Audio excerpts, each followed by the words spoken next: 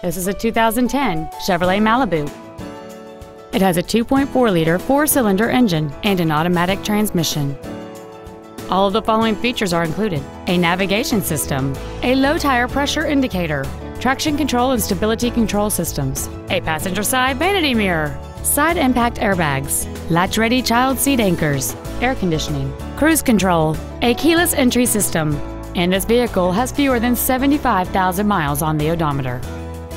With an EPA estimated rating of 33 miles per gallon on the highway, this vehicle pays off in the long run. Contact us today to arrange your test drive.